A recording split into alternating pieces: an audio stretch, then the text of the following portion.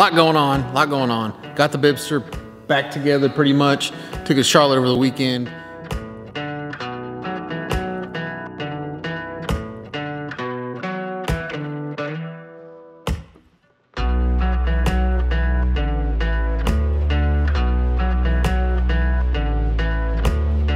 I also resurfaced the whole thing. So if you notice, it's actually a little extra shiny. Wiring, next few weeks, wiring and fuel system is all I care about. I wanna get this thing running. Get it fired up, the clutch, the clutch cable, the brakes, all that stuff works. So if I can get this thing fired up and running, I should be able to kind of move it around. So that's the plan, next, next couple weeks. Wiring, fuel system, try to get it fired.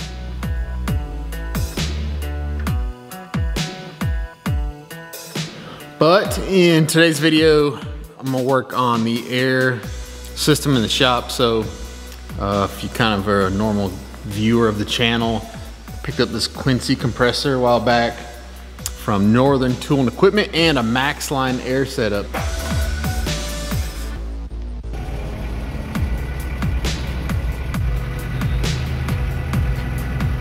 Goodies, baby, goodies.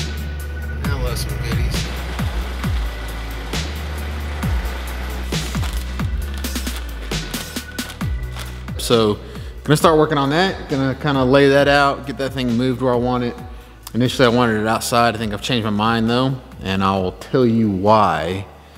Uh, I'm gonna try inside first. This episode of the Fab Forums is brought to you by Northern Tool and Equipment. Northern Tool and Equipment is family owned with over 120 stores nationwide. It's a great place to gear up providing service for hardworking pros and serious DIYers. Northern Tool and Equipment also provides expert parts and service plus a repair team in all stores who can get your equipment tuned up and running right. Visit northerntool.com for a store near you or just shop online. So, I guess I wanted to take a second and try to give you an idea of what I'm thinking as far as setting this whole air system up, uh, what my previous plans were and what my current plans are. So originally, I wanted to put the compressor outside. I wanted to build a little compressor house for it, you know, pour some concrete, put it outside, little compressor house with some insulation, mainly for sound. That way you wouldn't even hear it running out there, it wouldn't be an issue. And secondly, I didn't want to give up any square footage in the shop. I value my square footage in here. I felt like a compressor would kind of take up some of that. Now, the more I got to thinking about it though, there's two reasons why I've changed my mind. For one, the amount of work that's involved in putting the compressor outside. Pour concrete slab, you gotta build a compressor house, you have to do all this stuff. When, if I just put it over there in the corner, I could still kind of build a house around it, maybe even theme the house like a water closet or who knows, some kind of theme to it where it could dampen the noise, but it's not outside. And the reason I think I've changed my mind about it being outside is, uh, well, two reasons, obviously, like I said, the work involved. The second one is humidity, though. So when it comes to putting an air system in, you want to take out as much of the moisture of the air as you possibly can, especially, uh, well, it really depends on the kind of equipment you're running, but any kind of air grinders, any kind of air powered tools, they tend to suffer when you have more uh, humidity and water in the airlines. You got to keep them oiled, which you should keep them oiled anyway, but the drier you can make the air, the better off you're going to be. Now, this is really important when you start using plasma cutters, uh, plasma table, which I have on the way. Um, you're doing some kind of bead blasting, some kind of sand blasting. You don't want any moisture in there. It's going to clump. And so you want to take all that out. I plan to have a good air dryer in here. Plus the way that I'm gonna run the system, I can also bleed moisture out of the lines. But if the compressor's outside, it's basically pulling in all that humid air. And it rains all the time here. And when it's not raining, it's hot and hum humid unless it's wintertime. And so the more I thought about it, I was like, man, you're running all that humid air through the compressor itself, which is not that great for the compressor. And then as soon as it comes into the building, it's really cold, not really cold, it's much cooler in here than it's gonna be outside, especially when I put air in this place. It's instantly gonna condense that air. Any kind of humidity that's in there is gonna then turn into droplets and it's gonna basically rain out in those lines. The easy fix for me on that was to just put the compressor in the inside. I'm basically pulling in the same air, ambient air that's gonna be compressed and put through the shop. Doing that, still gonna be pulling moisture out of the air, but it's gonna be a lot easier to dry and uh, less work for the air dryer. So that's the basic plan. Compressor's gonna go in the corner. I figure worst case, if I just hate it over there, I can always move it outside. It won't be that big of a deal. Compressor's going in the corner and then I'm gonna run the lines strategically in the shop for now. Uh, pretty basic. So with the MaxLine air setup, I got three of these manifolds and I plan to buy more and add some more through the shop, which is really the, the best reason to go a system like that because it's easy to add on as you go. So I've got three of these manifolds. So initially this is how I'm gonna run it. I'm gonna put one way over here. So the compressor is gonna be in the corner. Right here I have my planishing hammer. I'm gonna drop one right there. I also have my welding table. So if I need to kind of tie into an airline, a grinder, um, yeah, anything really on that table, I can do it. So I'm gonna drop one on this post right there. And then I'm gonna come down this, I'm gonna drop another one on this post here. Actually, I may go over one side because the plasma table is gonna sit here. So that will fuel the plasma table uh, and anything else that I need to do from there. And then tee it off, it's gonna come all the way over here. I'm gonna drop another one right there. That's where the blast cabinet's gonna go. And then what I'll probably do is over here at the beginning, basically where most of my fabrication happens, I have a hose reel, I'm mounting it up high, I'm gonna tie it into the system as well. And so if I need to kind of stretch that thing out, use it around the shop, the hose reel itself will be what I use. I also figure that would probably be the easiest routing for me. So that's the plan. Now one thing I am gonna do, I don't have my air dryer yet, it's on back order, I'm still waiting on it. Most of you may have seen where people use copper lines uh, for drainage, and that's because the copper stays relatively cool, condenses that air, kind of rains out in that copper. They put a drain at the bottom, and they can kind of bleed off any moisture that might be in there. So I said, heck, why not? You know, not everybody's gonna have a dryer in their shop. Some people may need to use this technique. I figured I'd do both. I actually have to get the lines from the compressor up to where I'm gonna start the max line setup anyway. And so we're gonna use copper.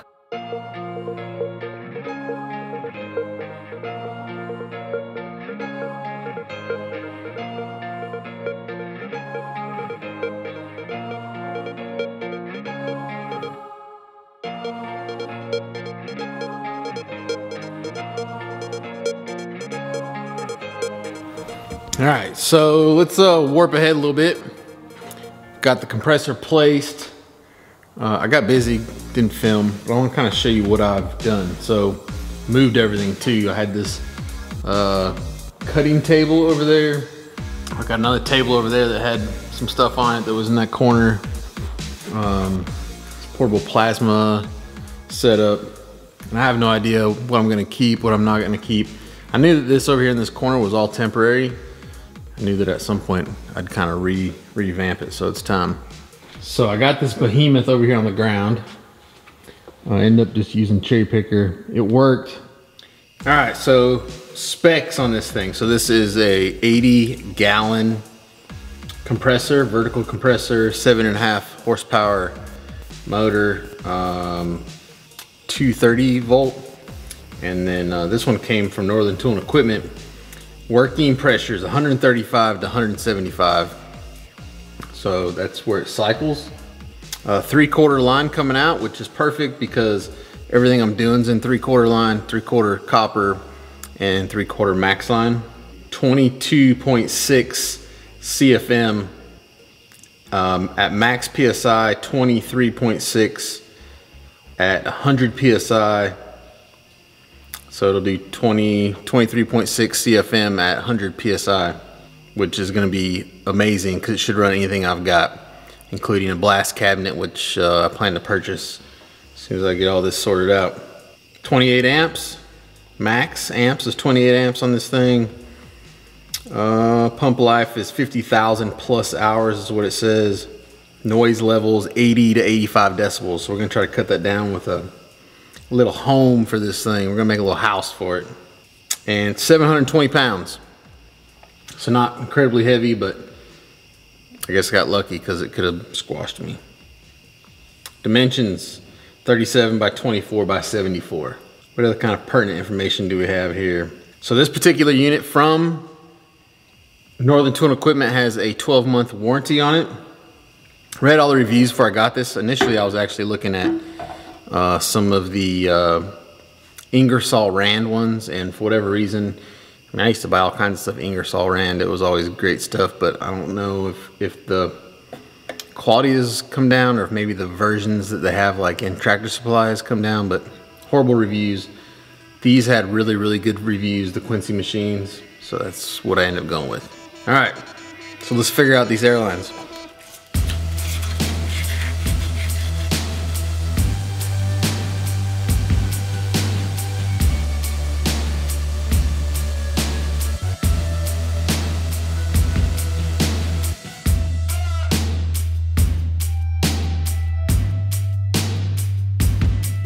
Got a threaded piece here for the max line to tie in. They'll go down the wall and then towards the floor.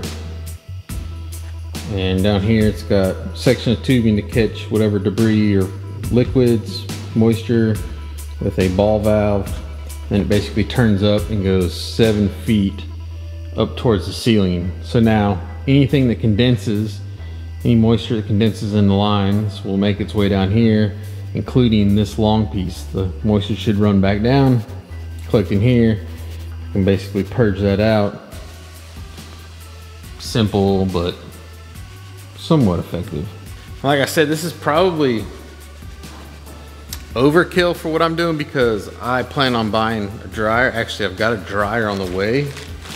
Uh, it's on back order, and so the second it gets here, I'll probably kind of re, I'll probably tap into this somewhere, put that dryer in there as well. I'll leave this just because, but this is an option for anybody that it's not gonna have a dryer. A lot of times you'll see this, it's got multiple loops and multiple drains. So it'll go, you know, from the ceiling down, back up, over, back down.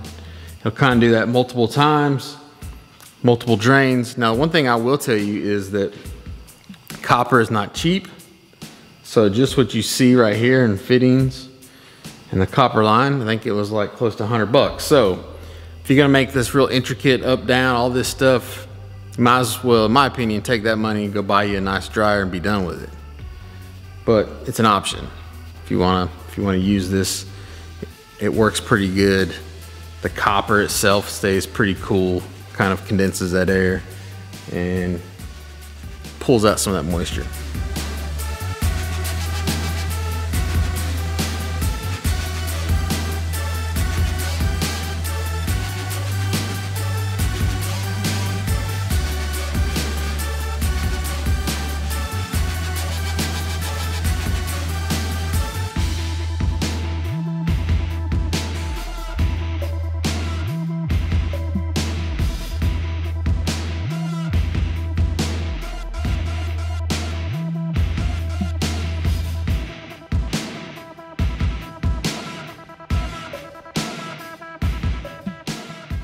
So I'm sure there was there's probably some plumbers watching that were cringing at my soldering skills.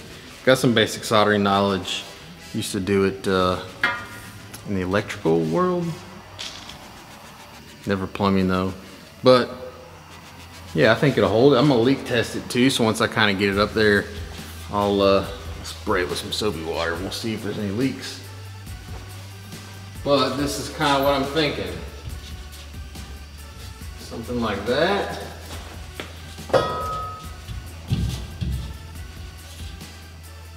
Get it mounted right there. Tie that in. Max line to the compressor. Come along the wall down. I can vent it right here. And then it'll go up and I'll tie it in and the max line's gonna run right down the top. All right, so we're back. Another day, another dollar. Got compressor in, some max line in, got the copper on the wall. Like I said, not needed, but figured I'd show you every available option. Probably gonna put the dryer right in here somewhere. I'll just cut it and yeah, that's the thing that's nice about these kits is you can modify them really, really easy.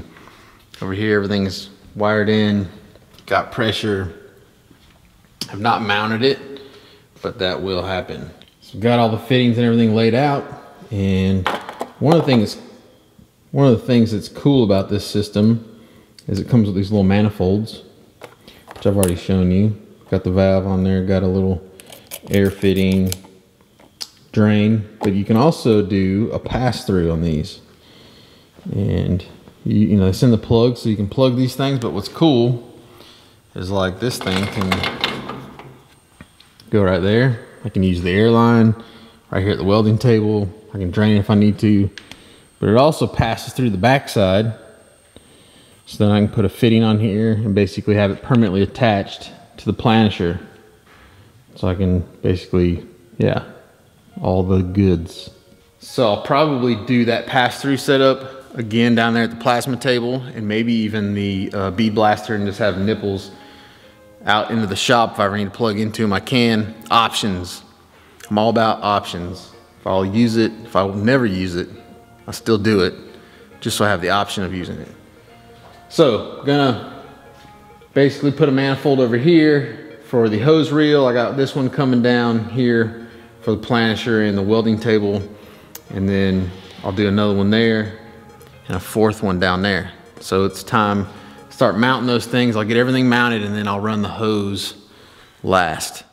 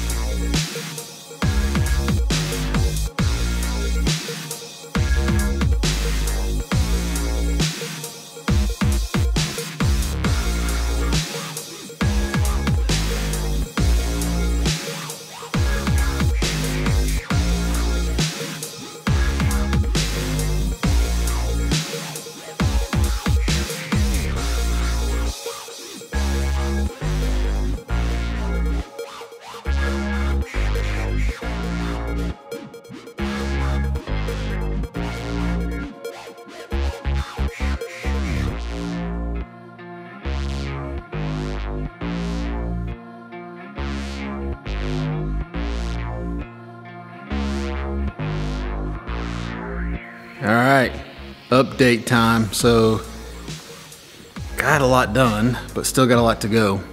So as you can see, got it run up there, tees off, comes down. And then what I did is I just made a uh, couple fittings and I tied this hose reel into it. So I got that mounted.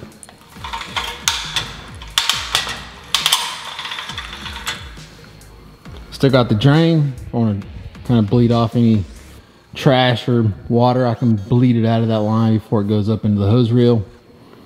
And then I've got this side done. So it goes up to the T, but I don't have it connected yet. The pass through, got it ready. This plugs on right there. Now I've got this one, same deal. So got the hose, the T, but it's not connected yet.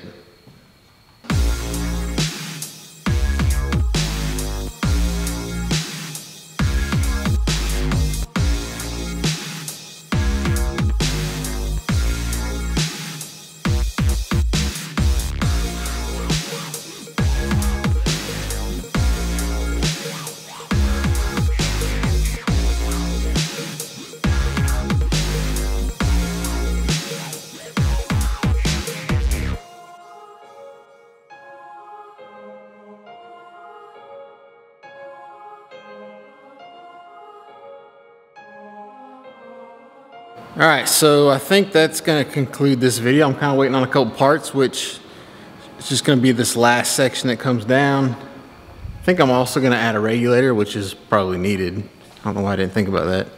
But that thing making 175 PSI, I don't need that much. I only need like 100 PSI all the time. So just a little recap. Got the Quincy compressor in.